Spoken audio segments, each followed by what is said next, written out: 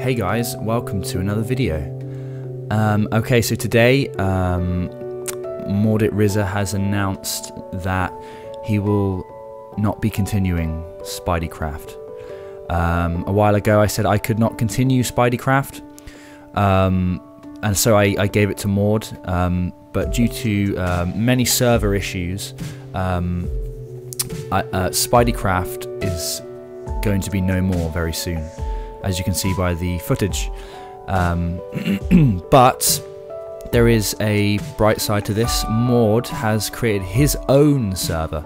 So he's created a brand new server with a better host because with Spideycraft there was a lot of people, uh, well, pretty much everyone lagged really bad for the past couple weeks or so. So it's, um, you know, we, we couldn't keep Spideycraft up with so much lag. Um, so Maud has got his own new server, uh, a new faction server with a new host, so it won't lag.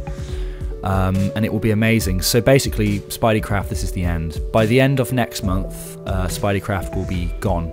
Uh, it will still be up until then um, because the server space has been paid for until the end of next month, I do believe. So you can guys can still come on. Uh, as you can see, everything is unprotected. So um, come on and I don't know, steal stuff or, whatever you want to do.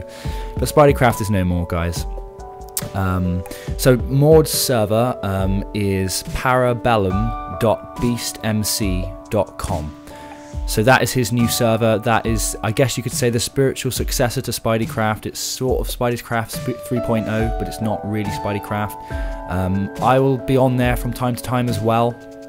Um, I, obviously, I won't be involved in running it or anything because it's not my server, it's Maud's brand new server. But yeah, so head over to there, guys, to continue your Spideycraft adventures.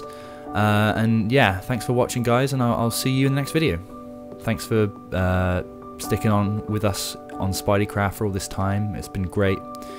But we'll see you soon. Peace.